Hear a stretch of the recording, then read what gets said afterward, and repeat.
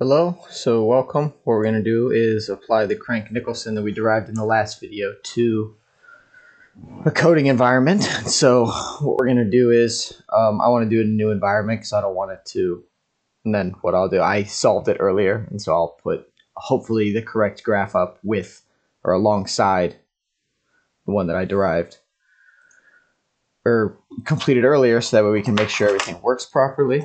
So what we're going to do is we're going to import numpy as np so we can do calculations.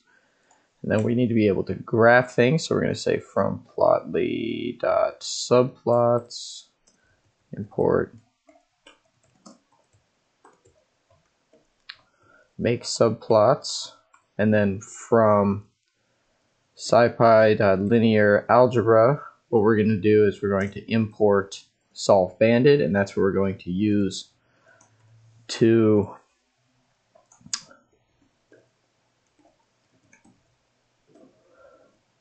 complete our matrix that we have set up, or we were going to set up. But so what we're going to do is when we get to it, after we define the things that we're going to, our constants and our variables, we're going to have three diagonals. We're going to have an upper diagonal. We'll just pick this one. A main diagonal, then a lower diagonal that all have values. And then we're going to index that in with our B matrix that we're going to bring in. And so first what we're going to say is we need a thermal diffusivity alpha equal to 1. And then we have our number of time increments is equal to, let's do 100. Because, oh, my number locks on 100 and then we're going to have, let's say we want the environment to take 2,000 time increments. And then when we're going to pick the size of our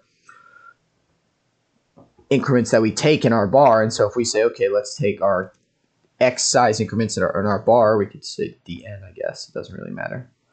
We'll stick with dx. We want that to be equal to 0.5, so that gives us 50 increments. Now we want to take, let's do what we'd say previously that the only working value for dt was 0.5, so I guess we'll stick with that. And then what we're going to do is what we did previously, where we're going to set up our x variables for our graph, and we're going to say that our eh, numpy arange is equal to the number of increments we have times our delta x, or our delta x. So then if I say, okay, show me x, we get 50 values all at or I'm sorry, we get 100 values all at the half step. But now we have from 0 to 49.5 or 50. So what we're going to do is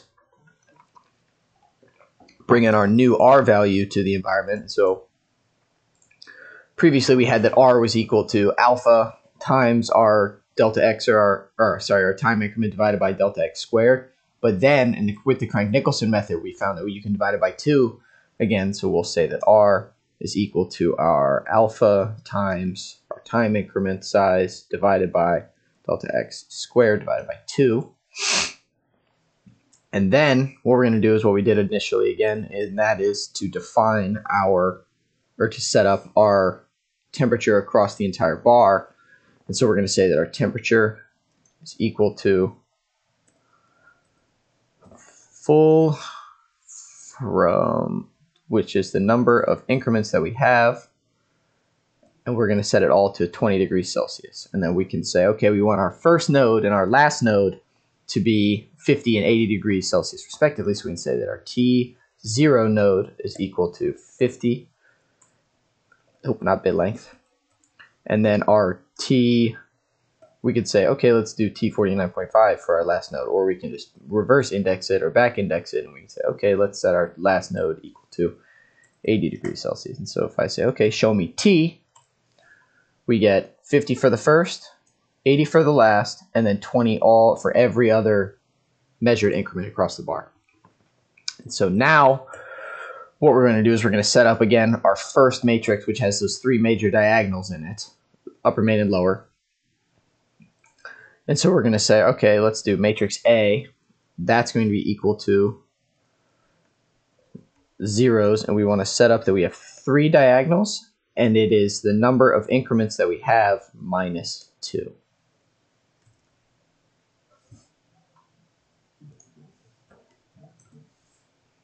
So if I say, okay, show me A, then we get zero across the board, and we have three diagonals for all of the times that we are looking at. So if I, if I say, okay, next we're gonna, please don't delete that when I press enter, awesome. We're gonna say, okay, let's set our first diagonal from zero, or our upper diagonal from our first node all the way to the end. We want that to be equal to our negative r value. And so if I say, let's shift enter that, and I say, okay, show me a now. Now we get negative 1 for our r value all the way across. And so then if I say, okay, give me our main diagonal, which is going to be our first, we want the value from our first all the way to our last node to be equal to 1 plus 2 times r. And if I say, okay, show me a now, now we get a different value for this, for our upper or our main diagonal. So if I say, okay, now we let's get our lower diagonal, we want that to be from oops, the beginning all the way to our last index diagonal, we want that to be equal to negative r as well. So if I say, okay, now show me a, we have negative 1 for our upper, negative 1 for our lower, and then 3 for our main diagonal. And so let's get rid of this. Actually, we can keep that in here. This doesn't really matter. And so the next step is to set up our matrix that we're going to multiply that by to get our graph. And so we can call that, let's call that matrix B and we'll say, okay, um, our B matrix is equal to the zeros, and we'll set it up again how we did previously, of the number of increments that we have minus 2. So if I say, okay, now show me B, we get this size because we say we only need three set arrays. Because again, with A, we said that we had three with this one, we only have the number of increments. We have minus 2. So it's just going to be 1, whereas this one we have 3 arrays. We're going to close both of those. And so now I'm going to say, okay, let's give what our B matrix is equal to. And that's going to be equal to our R value times the temperature in the bar from the second node all the way to the end plus 1 minus 2 times our R value plus, nope, sorry, times our R value times the temperature from the first node all the way to our back index node. And then we're going to say plus our R value times the temperature from the very beginning to our second, the one before our back index node, or I guess to the second to last. There we go. That's the node. Okay. And then we're going to say if we want, to, we're going to bring in our first node that we reference. We're going to say our B0 node is equal to B0 plus our R value times the temperature at that zero node, so it'd be times 50. And then we're going to say that we're going to do the same thing with the other node, which we set to 80. So we're going to say our B node at our back index node, or the temperature, is equal to back index node plus r times our temperature value at 0. So if I say, okay, show me B now, we get our R value times our first value, and that's 20 all the way across the bar, and then our 80 node times the R value plus the temperature, and we get 130. So if we remove that, so now we're close to being able to plot it and determine, and then we'll show that, again, with the Crank-Nicolson, there are no limitations on delta x and delta t. But first, we need to set up our plot. So we're going to say, let's do figure. I guess we only have one here, so it doesn't matter. It's equal to make subplots. I hope you can see me. I hope it's not too dark. Rows equals 1. Columns equals 1.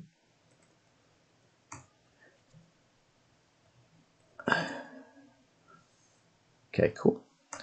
So we're going to say that our figure, we need to add a scatter plot.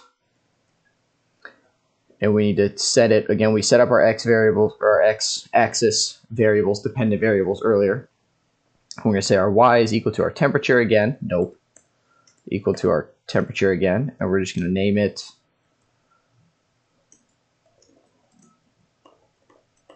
crank.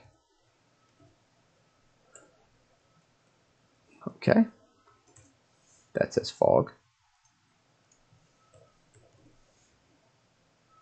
Awesome. So we have our first node at 50 degrees and then our last node at 80 degrees.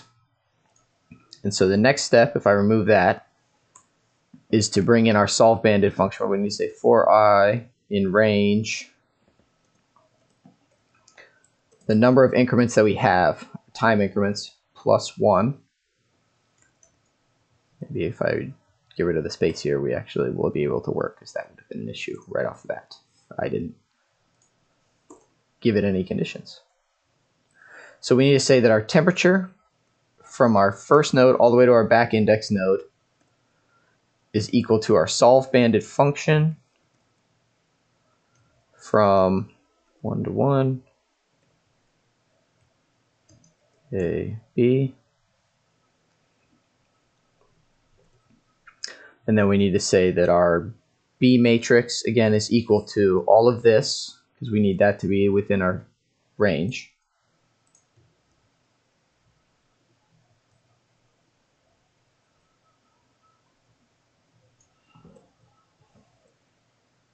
Okay. And then we need to say again that our B at our first node is equal to our first node plus R times the temperature at the first node. Okay, we'll go away because you're freaking me out. There we go. And then our temperature at the last back index node is equal to the temperature at the last node plus R times our temperature at that back index node. Excuse me. And then we're going to do what we did previously where we tell Colaboratory that we only want graphed. What we only want graphed is whole values of our at whole values of our time increments. So we're going to say that again, if i modulo 100, actually I have to make sure that this works before I even bother with it. Awesome.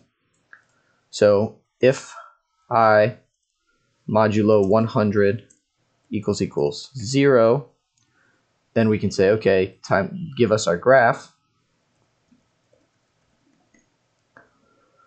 Again, with our x equals to x, y axis is equal to our temperatures, and then our name, let's do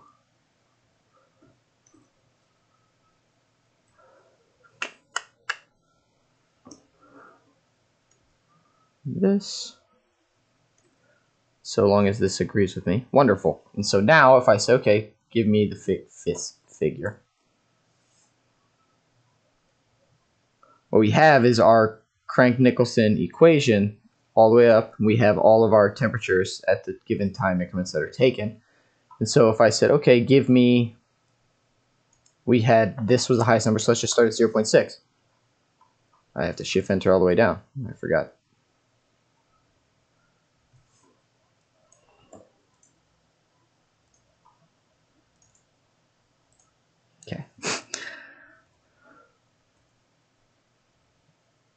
Hmm.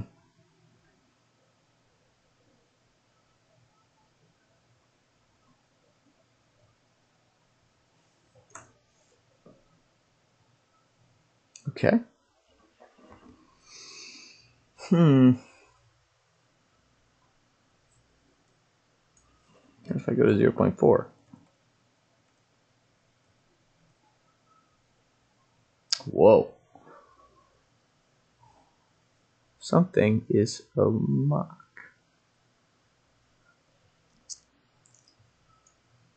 Oh, this could be why.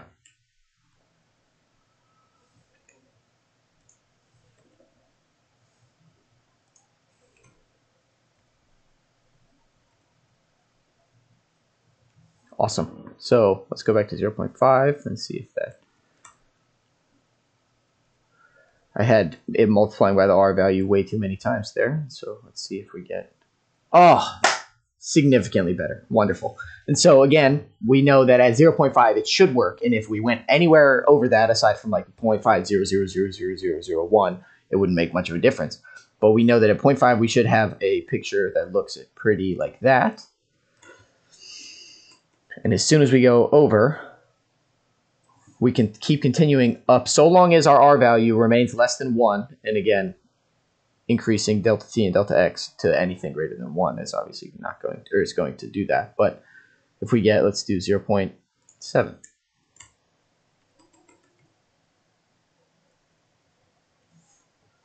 Good. Let's do 0.8.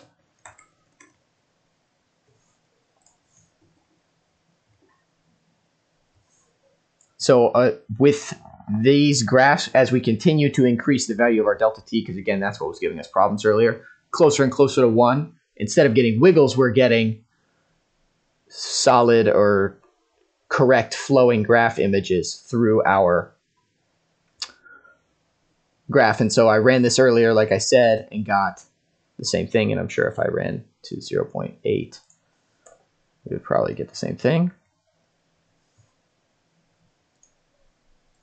Which we did. And so again, with this, what we just did and proved is that with the Crank-Nicolson method, there are no constraints on the delta x and delta t values that you choose to use while iterating through the process and ultimately coming up with a result.